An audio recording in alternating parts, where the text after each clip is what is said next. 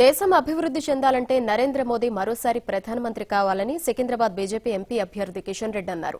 ప్రగతిశీల విధానాలు అవలంబిస్తోన్న బీజేపీలో యువత పెద్ద సంఖ్యలో చేరాలి అని ఆయన పిలుపునిచ్చారు.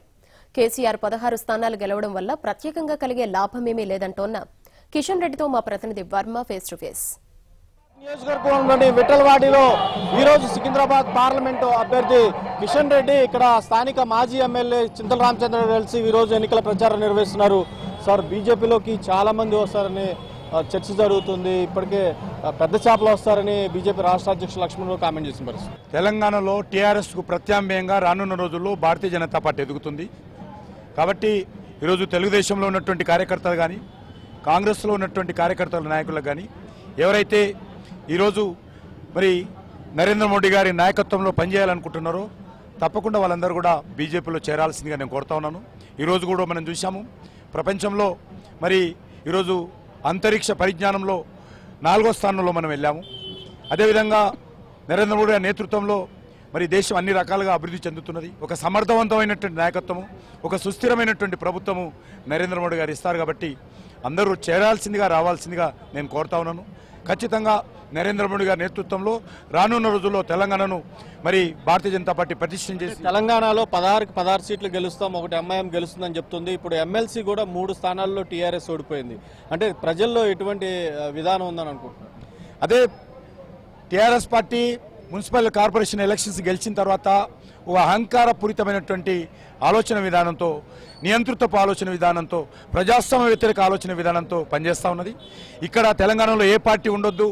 మా పార్టీ ఉండాలి అందులో మా కుటుంబమే ఉండాలి అందరూ మాకు గులాంగిరి చేయాలి అనేటువంటి ఆలోచనతో ఈరోజు టీఆర్ఎస్ పార్టీ పనిచేస్తూ ఉంది. ఇది మంచి సాంప్రదాయం కాదు. మరి మొన్న జరిగినటువంటి ఎన్నికలు ఇప్పుడు జరగబోయే ఎన్నికలు చాలా తేడా ఉంటుంది. మొన్న జరిగినటువంటి ఎన్నికలు అన్నీ కూడా అది తెలంగాణ చుట్టూ కేసీఆర్ చుట్టూ తిరిగాయి. ఇప్పుడు వాళ్ళు కూడా గుర్తుపెట్టుకోవాలి మీ కేసీఆర్ చుట్టూ మన తెలంగాణ చుట్టూ అసెంబ్లీ ఎన్నికలు ఏ రకంగా తిరిగాయో దేశంలో రేపు జరగనున్నటువంటి ఎన్నికలు కూడా దేశ ప్రధానమంత్రి అయినటువంటి నరేంద్ర మోడీ గారి చుట్టూ భారతీయ జనతా పార్టీ చుట్టూ తిరుగుతాయి.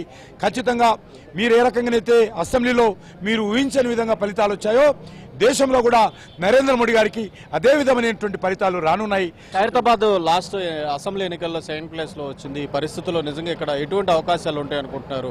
అది ఫస్ట్ ప్లేస్లో ఓట్లు ఉన్న వాళ్ళు టీఆర్ఎస్ వాళ్ళు ఉన్నారు ఇక్కడ. నేను ఇంతకుముందే చెప్పాను మొన్న అసెంబ్లీ ఎన్నికలకు ఈ ఎన్నికలకు తేడా లేదు. ఈ ఎన్నికలు ఈజ్ డిఫరెంట్ ఈ ఎన్నికలు దేశం కోసం ప్రజలు ఇస్తారు మన దేశ ప్రజలు చాలా దేశభక్తులు జాతీయ భావనతో ఉండేటువంటి వాళ్ళు. దేశ ప్రభుత్వము సమర్థవంతంగా ఉండాలి నాయకుడు సమర్థవంతంగా ఉండాలి దేశం ముందుకు తీసుకెళ్ళాలి ప్రపంచ దేశాల్లో భారతదేశ గౌరవం నిలపాలని ఖైరతాబాద్ ప్రజలు కోరుకుంటున్నారు హైదరాబాద్ ప్రజలు కోరుకుంటున్నారు తెలంగాణ ప్రజలు కోరుకుంటున్నారు భారతదేశ ప్రజలు కూడా కోరుకుంటున్నారు. అమిత్ షా మోడీ హైదరాబాద్ పర్యటన తర్వాత మార్పు వచ్చే అవకాశం ఉందా? చాలా పెద్ద చేపల పార్టీలో వస్తాయి అంటున్నారు ఆ సభల్లోనే జాయిన్ అవుతారు? మీరు మార్పు ఇప్పుడు లేదని ఎందుకు అనుకుంటున్నా ఒకసారి సర్వే చేయండి మీరు. ఖచ్చితంగా తెలంగాణలో కూడా మంచి వాతావరణం వస్తుంది. మీరు అన్నట్టు మా మరి భారతదేశ చౌకీదార్ అయినటువంటి నరేంద్ర మోడీ గారు హైదరాబాద్ మీటింగ్ తర్వాత మరింతగా ప్రతి ఇంట్లో ఒక నరేంద్ర మోడీ గారికి అనుకూలంగా చౌకీదార్ వస్తాడు. దేశం కోసం పనిచేస్తారని చెప్పి మనం చేస్తా ఉన్నాం. ఇది ఏదైతే మోడీ అలానే అమిత్ షా టూర్ తర్వాత ఇక్కడ పరిస్థితి అంతా మారుతుంది. ఇప్పటికే పరిస్థితి కూడా మారున్న పరిస్థితి అయితే ఉంది.